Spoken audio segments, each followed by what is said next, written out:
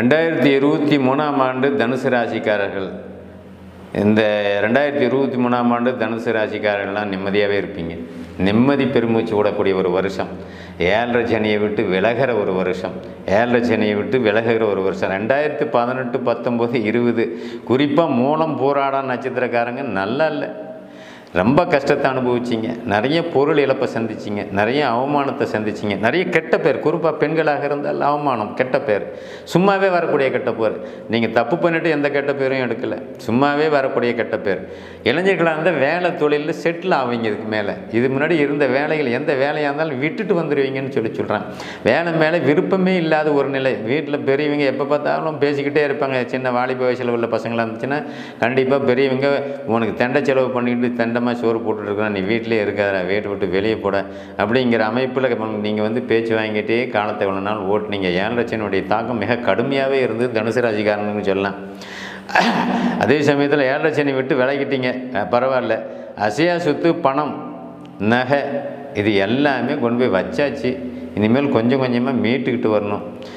எதை வச்சு மேய்க்கிறது? தொழில் நல்லா இருந்தால் தானே வருமானம் நல்லா இருந்தால் தானே நம்ம மேய்க்க முடியும். ஆக நிலம் சம்மத்தட்ட வகையில் ஏமாந்தவங்க நிறைய பேர் இருக்கீங்க. நிலத்தை சும்மா போய் கையெழுத்து சும்மாவே கையெழுத்து வாங்கிட்டு விட்ருவாங்க நம்ம சொத்தை ஏமாற்றி வாங்கிடுவாங்க. இந்த மாதிரி அமைப்பெல்லாம் தனுசு ராசிக்காரங்க மாட்டிக்கிட்டது உண்டு. மொத்தத்தில் நிலம் சம்ப சம்மந்தப்பட்ட விஷயத்தில் பெரும் குழப்பம். தொழிலை பாதியிலேயே நின்று போயிடும். எந்த வேலையை செஞ்சிருந்தாலும் அது பாதியிலே நிற்கக்கூடிய அமைப்பு. அந்த தொழிலே உங்களுக்கு வந்து கை கொடுக்கல. அதாவது என்ன தொழில் செய்கிறேன்னு தெரியாமல் என்ன தொழில் தொடங்குறதுன்னு தெரியாமல் தொடங்கிட்டீங்க. யாரோ ஒருத்தர் பேச்சை கேட்டு இந்த தொழிலில் உங்களுக்கு இது அந்த தொழிலை பற்றியும் ஒன்றும் தெரியாது ஆனால் அந்த தொழிலை நீங்கள் ஆரம்பிச்சுக்கிட்டீங்க. அப்படி ஆரம்பித்து அந்த தொழிலில் மிகப்பெரிய நஷ்டத்தை தனுசு ராசிக்காரர்கள் சந்திச்சிங்க. குறிப்பாக தனுசு ராசி அந்த ராசி சந்திரன் மட்டும் ராசியில் தனியாக இருந்தால் எந்த பிரச்சனையும் இல்லை. ஒருவேளை ராகு இணைஞ்சிருந்தால் ஒருவேளை அந்த சந்திரன் தேய்பிரையாக இருந்தால் அப்படின்னா எந்த தொழிலில் கொண்டு போய் உங்களை சிக்க வைக்கும் அப்படின்னா அந்த தனுசு ராசிக்காரங்கள் முக்கியமாக துணி சம்மந்தப்பட்டது ஜவுளி சம்மந்தப்பட்டது கார்மெண்ட்ஸு சம்மந்தப்பட்டது இந்த மாதிரி துறையில் போய் இறங்கி மிகப்பெரிய நஷ்டத்தை கொடுத்துருவார். தனுசு ராசிக்காரங்க அதாவது ராசி வந்து சுத்தமாக இருக்கணும். ராசிக்கு குரு பார்வையோடு இருந்த ராசியாக இருக்கணும். இணைவு என்பது யோகம். குருவும் சந்திரன் இணைஞ்சா யோகம்னு சொல்கிறேன் ஆக சந்திரன் திசை வந்தாங்க நல்லா இருக்கும். ஆனால் குரு திசை வந்தால் நல்லா இருக்காது. காரணம் என்னென்னா தேய்பிரை சந்திரனோட இருக்கிற குரு நல்ல பலனை செய்யாது. அப்படிங்கிற அமைப்பில் குரு சந்திரன் ராகு ஒரு வேளை இணைஞ்சிருந்தால் தனுசு ராசிக்காரங்களாக இருந்தீங்கன்னு வச்சுங்க ஒரு ஐம்பது லட்ச ரூபா லாஸ் அதுக்கு மேலேயும் அவங்க லாஸ் தான். அந்த பணத்தெல்லாம் திரும்பி நீங்கள் மீட்கவே முடியாது. அப்போது இது என்ன செய்யும்? மீண்டும் மீண்டும் கடனை உருப்படுத்தும். தனுசு ராசிக்காரர்கள்லாம் மூணு வருஷமாக டோட்டலாக ஒரு ஒரு கோடி ரூபாய் விட்டவங்கலாம் நிறைய பேர் இருக்காங்க. அதை நான் பார்த்துருக்கேன். ஒரு கோடி ரூபாய் இழப்பு. தான் அந்த ஒரு கோடி ரூபாய் நீங்கள் சம்பாதிக்க முடியாது. ஆக தனுசு ராகினுடைய மன உளைச்சல் பிள்ளைகளுக்கு திருமணம் நடத்தணும். என்ன? வீட்டு வேலை பாதியில் நிற்கிது வாகன கடன் முழுசாக நிற்கிது இது எல்லாமே கட்ட முடியாத நிலை. பெண்களை குழந்தைகளுக்கு திருமணம் பண்ணக்கூடிய வாய்ப்பு அந்த வாய்ப்புக்கு செலவுக்கு பணம் இல்லாத நிலை இல்லைன்னா பூமியே நிலம இருந்தால் அதை விற்றா தான் பண்ண முடியுங்கிற நிலை திருமண தடை இத்தனையும் வேதனையாக கொண்டாந்து தனுசு ராசிக்காரர்களுக்கு பெரியவங்களுக்கு கொடுக்கும் சிறியவர்களாக இருந்தால் தொழில் பாதிப்பை கொடுக்கும். இளைஞர்களாக இருந்தால் தொழில் பாதிப்பு. முப்பது வயதுக்கு உட்பட்டவர்களாக இருந்தால் தொழில் பாதிப்பு. பதினஞ்சு வயசுக்கு உட்டு கீழே இருக்கிறவங்களாக இருந்தால் கல்வியில் பாதிப்பு. அப்போ பொருளாதாரம் தொழில் கல்வி முப்பது வயசுக்கு உள்ளவங்களுக்கு அதுக்கு மேலே இருக்கிறவங்களுக்கு தொழில். முப்பது வயதை கடந்தவர்களுக்கு தொழிலால் மிகப்பெரிய நஷ்டம். மிகப்பெரிய நஷ்டம் அப்படின்னா அந்த நஷ்டத்தெல்லாம் ஈடுகட்ட முடியாது. அந்த பணம் போனது போனது தான் ஜோசியத்தில் விரயம்னு சொல்லக்கூடியது திரும்பி வராத பணம் அப்படிங்கிறது சொல்கிறாங்க விரயம் சொல்லக்கூடியது திரும்பி வராத பணம். அதாவது ஒரு நல்ல மனநிலையில் ஒருத்தவங்க இருக்கிறாங்க அப்படின்னா தொழில் நல்லா நடந்துகிட்டு இருக்கணும். பணம் ஒரு பத்து லட்சம் ஐம்பது லட்சம் போச்சுன்னா அந்த அந்த மன உளைச்சலே குறைஞ்சது மூணு வருஷம் நாலு வருஷத்துக்கு வேலை செய்யும். அந்த மறக்கக்கூடிய சக்தி எப்போ வரும் அப்படின்னா திரும்பவும் நிறைவாக எதுலையோ ஒரு வகையில் ஒரு பாதி பானமாவது அதுலேருந்து நீங்கள் சம்பாரிச்சிங்கன்னா தான் வரும். ஒரு ஐம்பது லட்ச ரூபா போச்சுன்னா ஒரு இருபத்தஞ்சி லட்ச ரூபா நீங்கள் ஒரு ரெண்டு வருஷம் கழிச்சு நீங்கள் சம்பாரிச்சிங்கன்னா கொஞ்சம் நிம்மதி விடுவீங்க. சுத்தமாகவே அதை இழந்து இன்னும் இருக்கிற சொத்தும் இழக்கக்கூடிய அமைப்பு வரும்போது தான் நிம்மதி கெட்டு போயிடும். அப்படி நிம்மதி கெட்டு போகிற அமைப்பில் தான் தனுசு ராசிக்காரங்க இவ்வளோ நாள் ஓடிக்கிட்டு இருக்கிறீங்க. இப்போ உங்களுக்கு விடுதலைன்னு சொல்லலாம். பாதிக்கப்பட்டதில் தனுசு ராசிக்காரர்களுக்கு இப்போ விடுதலையான ஒரு காலம். விடுதலைனா எதில் விடுதலை? பணம் பொருளில் விடுதலை இல்லை. மனம் விடுதலை பெறுகிறது. தொழில் வந்து உங்களுக்கு புதுசாக அமைச்சு கொடுக்கக்கூடிய அமைப்பு இல்லை. புதுசாக இப்பயுமே அமைச்சு கொடுக்காது. ஆக அது தசாபுத்தியின் அடிப்படையில் தான் தொழில் அமைக்க முடியும். ஆக ஏதோ ஒரு பொருளை ஏதோ ஒரு இடத்த நீங்கள் விரயம் பண்ணி ஒரு நல்ல சுப காரியங்களை நடத்தக்கூடிய அமைப்பு. கையில் பணம் இல்லை கடன் வாங்கி செய்யலாம் திரும்ப கடன் கட்டுற அமைப்பு. கையில் பணம் இல்லை ஆனால் கடன் கேட்டால் கிடைக்கும். அந்த கடனை திரும்பி நீங்கள் சுப காரியங்கள் அப்படின்னு சொல்லக்கூடியது வேலை வாய்ப்புக்காக பணத்தை கட்டலாம். கல்யாணம் பண்ணி வைக்கலாம் குழந்தைகளுக்கு அதுக்காக பணம் செலவாகும். நகை எடுக்கணும் கல்யாணம் பண்ணணும் இதுக்காக பணம் செலவாகும். இந்த காரியங்கள்லாம் முடித்து வைக்கும் ஆண்டாக. இந்த ரெண்டாயிரத்தி இருபத்தி மூணு இருக்கும். அதன் பிறகு கொஞ்சம் கொஞ்சமாக நீங்கள் அந்த கடனை கட்டக்கூடிய அமைப்பு ஒரு மன நிறைவு அதாவது ஒரு பக்கம் சோதனையாக இருந்தாலும் ஒரு பக்கம் சந்தோஷம். நீங்கள் கடன் பட்டீங்க பணம் அழிஞ்சு போச்சு பொருள் அழிஞ்சு போச்சு. ஆனால் பிள்ளைங்களுக்கு கல்யாணம் பண்ணால் அது ஒரு சந்தோஷம். வாழ்க்கை எப்படியும் அமைச்சிட்டோம். வாழ்க்கை எப்படி அழிஞ்சு போச்சு. வாழ்க்கை உங்களுக்கு வாழணும் அப்படிங்கிற ஒரு அமைப்பில் மன நிறைவு பெறும். அந்த நிறைவான ஆண்டுன்னு சொல்லக்கூடியது தான் ரெண்டாயிரத்தி இருபத்தி மூணாம் ஆண்டு. நிறைய வந்து எதிர்நீச்சல் போட்டிங்கிறது தனுசு ராசிக்காரர்களுக்கெல்லாம் உண்மையான ஒரு அமைப்பு. மொத்தத்தில் தனுசு ராசி உங்களுக்கு மிகப்பெரிய துயரம் அப்படின்னு சொல்லக்கூடிய அமைப்பை அங்கே கொடுக்கும். மிகப்பெரிய உறவுகள்லாம் பகை பண்ணி விட்ரும் நல்ல நெருங்கிய உறவுகள் நல்ல வரவு செலவு வச்சுக்கிட்டு இருந்தீங்க. அவங்கெல்லாம் பேச மாட்டாங்க. இந்த ஆள் வந்தால் இது போயிட்டு இருந்தாவே அவங்க முகத்தை திருப்பிக்குவாங்க பார்த்தா நம்மளை கடன் கேட்பான். எங்கே கொடுக்கறது? அப்படிங்கிற அமைப்பில் அவங்களா ஒதுங்கிக்குவாங்க. ஆக மொத்தத்தில் நம்மக்கிட்ட இருந்த காசெல்லாம் விரையும் போய் நம்ம மதிப்பு மரியாதை கௌரவம்லாம் கொஞ்சம் குறைஞ்ச அமைப்பில். எனக்குமே பணம் பொருளாதாரம் தான் ஒரு கௌரவமான அந்தஸ்தை கொடுக்குங்கிற அமைப்பில். அது கையை விட்டு போயிட்டால் எந்த வகையிலையுமே நீங்கள் வந்து பணம் பொருளாதாரத்தை மீட்டெடுக்கிற வரைக்கும் அந்த கௌரவம் அந்தஸ்தை பார்க்கறது கஷ்டம். நமக்கு மதிப்பு கொடுத்து சல்யூட் அடித்து பேசணும்? இப்போ திரும்பி பார்க்க மாட்டேங்கிறான். அவ்வளோதான் அப்போ என்னாச்சு? நம்மளை பார்க்க விரும்பலை பார்க்க பிடிக்கல. நம்மளை விட்டு ஒதுங்குங்கிறான்னு அர்த்தம். ஒதுங்க வைக்கிறவன் யார்? சனி பகவான். சனி வந்து பிரிவினையை ஏற்படுத்துவார். எப்பயுமே வந்துங்க ஏழரை சனி காலகட்டத்தில் ஜென்மத்தில் சனி பயணம் பண்ணுறது ரொம்ப கொடுமையான அமைப்புங்கிறான். அதுவுமே ஜென்மத்தில் சொந்த நட்சத்திரத்தில் சனி பயணம் பண்ணுற காலம் மட்டும்தான் ஏழரை ஆண்டுகளில் கொடுமையான காலங்கிற அப்படின்னு சொல்லி சொல்கிறாங்க அப்படிங்கும்போது சனி பிரிவினையை உண்டு பண்ணுவார். பிரிவினைன்னா என்ன?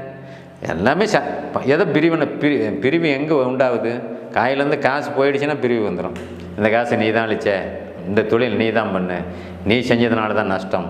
அப்போ ஒருத்தன் மேலேயே பழகி போடுற அமைப்பு அங்கே வந்துடுதா அப்போ அவங்க என்ன பண்ணுறாங்க காசு விட்டவொடனே நம்மளை விட்டு நண்பர்களாக இருந்தாலும் விலைக்கு போயிடுறாங்க தாய் தந்தையாக இருந்தாலும் விலைக்கு போயிடுறாங்க. குழந்தைங்களாக குழந்தைங்களா இருந்தால் கூட விளையிடுது அதெல்லாம் ஒன்றால் தான் ஆச்சுன்னு ஒரே வேரில் போட்டு நமக்கு சரியான மன ஆலோசனை உண்டாக்கிட்டு அவங்க பாட்டுக்கு போயிட்டே இருப்பாங்க. அப்போ நிம்மதி கெடுறது யார்? இந்த ராசிக்காரங்க ஏன் நிம்மதிக்கிறாங்க? சனியினுடைய அழுத்தம் அவ்வளோ கொடுமையானதாக இருக்கும். எந்த ஜாதகத்துலேயுமே வந்து ஏழரை சனி அஷ்டம சனி சனியினுடைய அழுத்தம் ரொம்ப கொடுமையாக தான் இருக்கும். ஆக இதுக்கு முன்னாடி நடந்த மிதன ராசிக்காரங்கள்லாம் ரிஷப ராசிக்காரங்களாம் கொடுமையான அனுபவம்.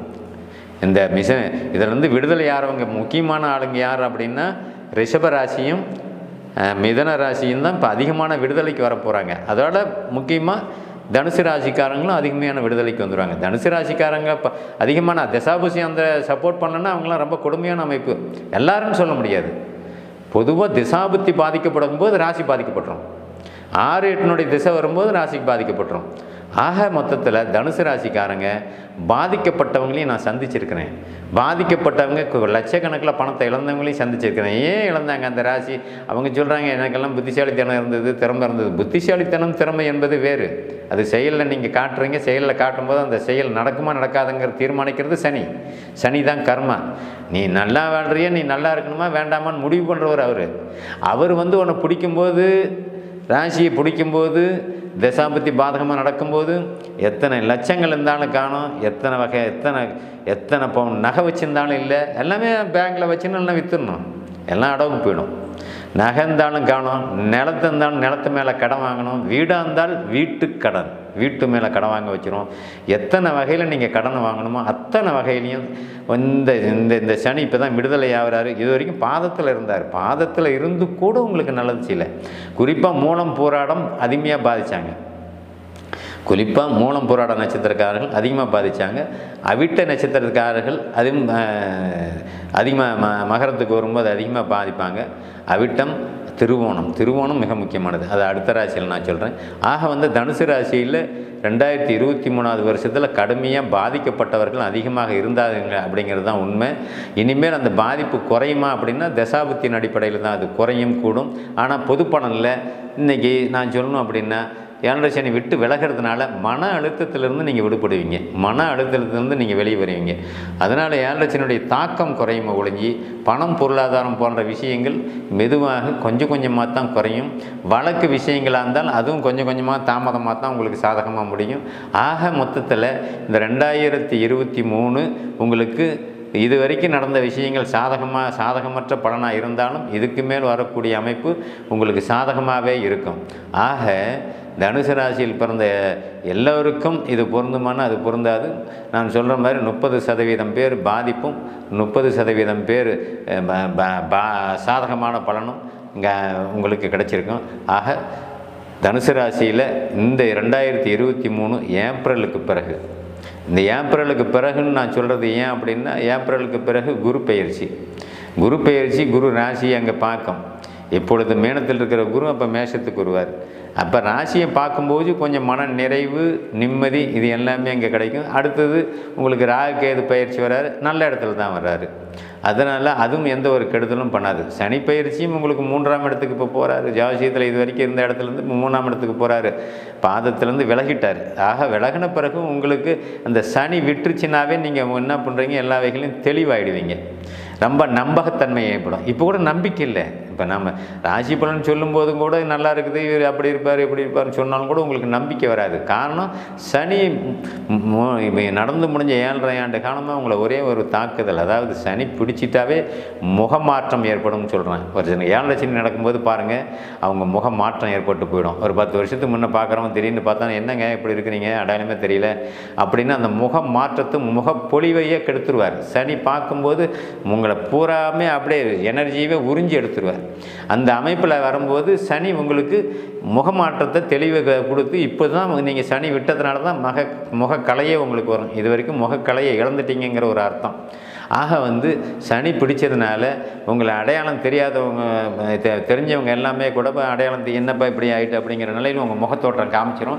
இனிமேல் அதிலேருந்து விடுதலை பெறுவீங்க முகப்பொழிவோடு இருக்கும். சந்தோஷமாக இருப்பீங்க. நிறைவாக இருப்பீங்க. ஆக ரெண்டாயிரத்தி இருபத்தி மூன்று இதுக்கு மேல் நீங்கள் ஒரு சிறப்பான வாழ்க்கையை துவங்கலாம். சிறப்பான பேஸ் பண்ணி ஜாக்பாட் அடித்த மாதிரி நல்லா இருப்பீங்க.